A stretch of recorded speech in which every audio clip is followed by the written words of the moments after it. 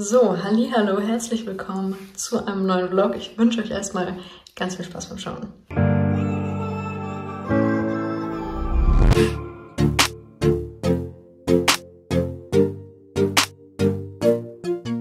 Ja, ich habe es noch nicht geschafft, den Teil zu drehen, wie ich euch von meinem Auswahlseminar berichte. Ich habe aber jetzt meine, mein Handy schnappen müssen, denn ich habe eine Mail heute bekommen, dass ich für die Friedrich-Naumann-Stiftung genommen wurde und da jetzt offiziell Stipendiatin bin. Und genau, das wollte ich euch mitteilen.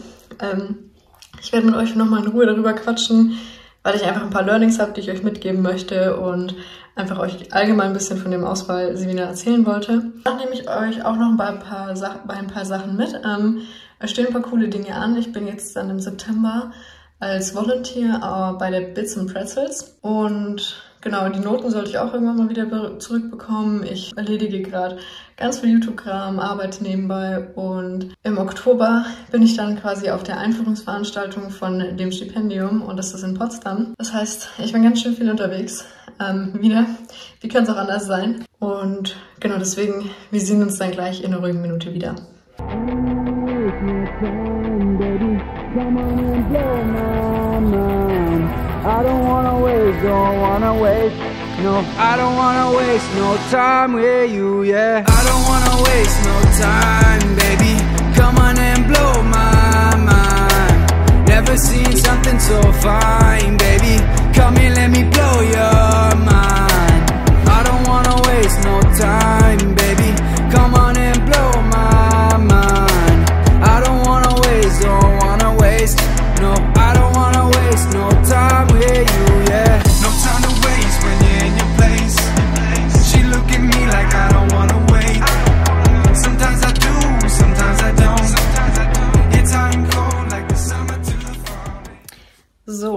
Ich habe ja gesagt, ich melde mich nochmal in einer freien Minute und erzähle euch ein bisschen was über das Auswahlseminar. Ähm, genau, das Auswahlseminar hat in der Theodor Heuss Akademie stattgefunden. Die ist in Gummersbach, das ist in der Nähe von Köln. Und da bin ich am Freitagabend schon angereist, da Samstag früh eben ähm, das Auswahlgespräch schon stattgefunden hat. Und da das ungefähr fünf bis sechs Stunden von mir in Bayern sind, musste ich da eben einfach schon früher anreisen. Ähm, genau, wir sind dann abends auch noch mit, mit ein paar Bewerbern, die auch früher angereist sind, ähm, essen gegangen. Und da habe ich dann auch schon ein paar Leute kennengelernt. Das war ganz cool. Und ja, am nächsten Tag war dann eben das Auswahlgespräch. Man hat sich dann da getroffen, wurde begrüßt etc. Und im Vergleich zu der Studienstiftung war es eben ein bisschen anderes Auswahlverfahren. Also ich hatte nur ein Gespräch oder alle haben nur ein Gespräch. In meinem Fall zum Beispiel waren es jetzt mit zwei Ausschussmitgliedern. Und was ich auch mitbekommen habe, die Gespräche sind super individuell. Also Manche werden viel zum Thema Politik gefragt, weil es ja auch eine parteinahe ähm, Stiftung ist, beziehungsweise eben nicht der Partei unabhängig, zum, wie bei der Studienstiftung. Und deswegen wurden manche eben dazu viele Sachen gefragt oder ähm, manche wurden eben viel über den Lebenslauf gefragt oder über Ehrenämter etc.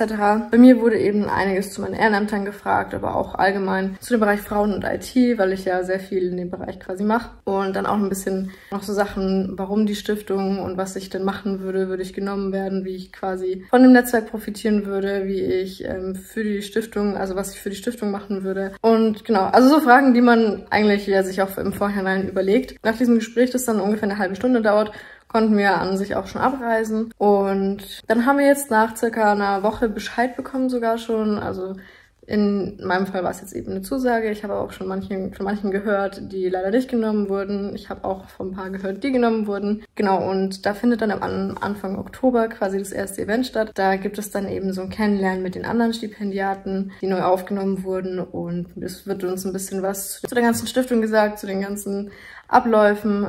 Ja, ich bin ganz froh, dass ich jetzt irgendwo schon so einen weiteren Meilenstein ähm, für mich erreicht habe, weil es ist nochmal so eine Art eine Anerkennung von den eigenen Leistungen, die man bekommt, wenn man eben dafür so ein Stipendium genommen wird.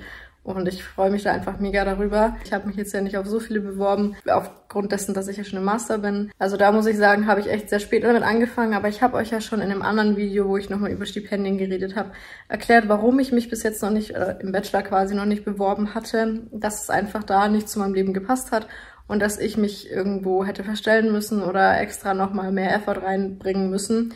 Und es kam jetzt am Ende dann quasi alles von alleine. Das heißt, ich habe jetzt am Ende schon von alleine das erfüllt, was irgendwo so ein bisschen die Anforderungen sind oder was man, was die Stiftungen so ein bisschen sehen möchten, halt eben das Engagement, das man dann hat. Und so war es jetzt am Ende auch, ich glaube, der richtige Weg und ich freue mich, dass es jetzt geklappt hat. Ja, und hier auch nochmal an euch. Es gibt super viel verschiedene ähm, Werke, die Stipendien geben. Forstet euch da einfach mal durch, was am besten zu euch passt, womit ihr euch identifizieren könnt.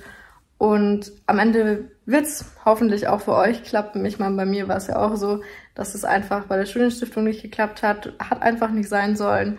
Und ist auch vollkommen okay. Ich habe daraus gelernt. Ich habe viel für mich mitnehmen können auch ähm, so was persönliche Dinge angehen, habe ich noch mal ein bisschen was tatsächlich über mich gelernt, weil ich, als ich über das Auswahlverfahren eben reflektiert habe, gebt einfach nicht auf. Ich meine, wenn ihr auch dann noch im Bachelor seid, gibt es ja auch die Möglichkeiten, sich dann nochmal zu bewerben. Bei mir ist es eben ein bisschen schwierig, weil ich jetzt schon sehr fortgeschritten bin mit meinem Studium und ja schon im Master bin.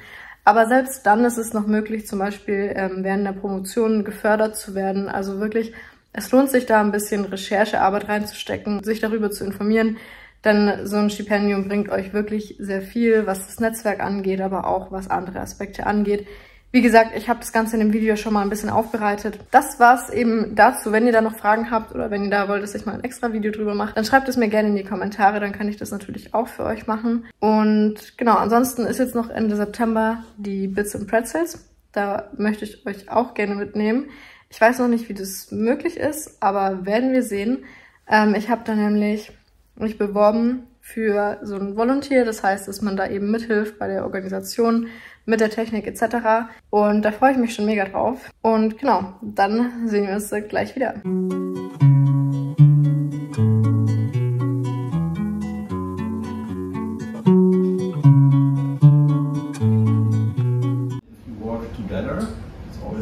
team if you a company um, and you find a way to work together, something magic can can happen.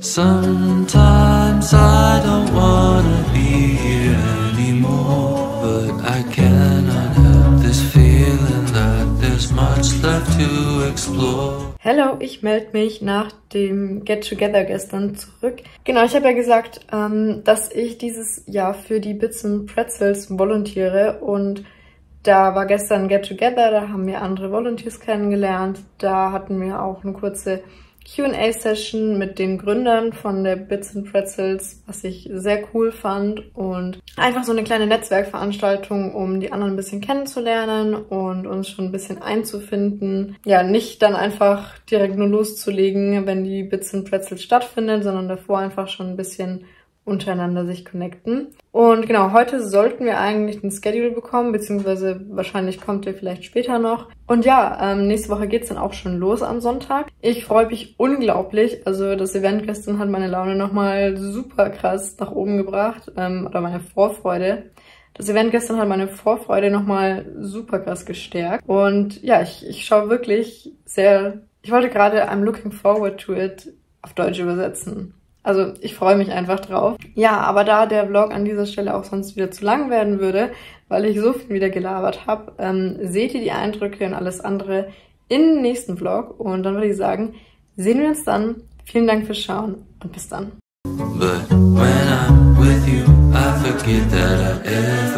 So blue.